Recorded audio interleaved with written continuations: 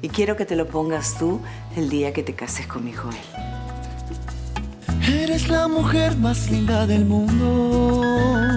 ¿Sabes que, que, tu matrimonio con el platanazo al final pues no se concretó, Charo? Entonces ese vestido puede, puede traer una carga negativa. No sé, a mí me da como... A mí me da como un incón acá. Ay, por Dios. Efectivamente. Yo he pasado momentos horrorosos y no me he desmoronado. Sigue mi ejemplo. Déjate de tonterías. Bueno, lo siento. No puedo. Sin Jimmy nada tiene sentido.